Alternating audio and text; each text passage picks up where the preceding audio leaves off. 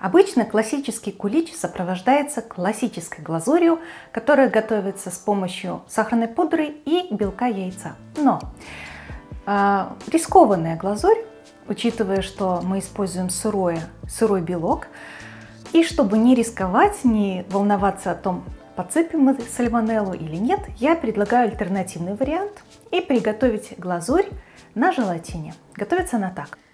Чайную ложку желатина быстро растворимого пищевого заливаем двумя столовыми ложками холодной кипяченой воды, размешиваем и оставляем набухать. Так как это быстро растворимый желатин, то он практически сразу начнет уже и растворяться.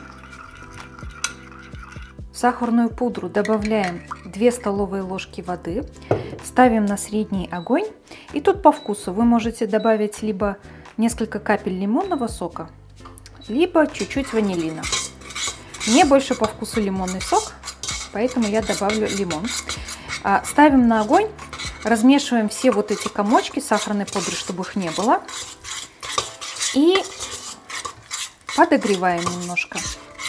Не должно пригорать, но весь, вся сахарная пудра должна раствориться.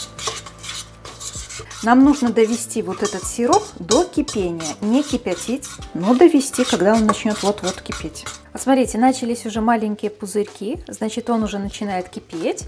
Снимаем с огня и добавляем наш уже разбухший желатин. Все тщательно размешиваем и взбиваем миксером.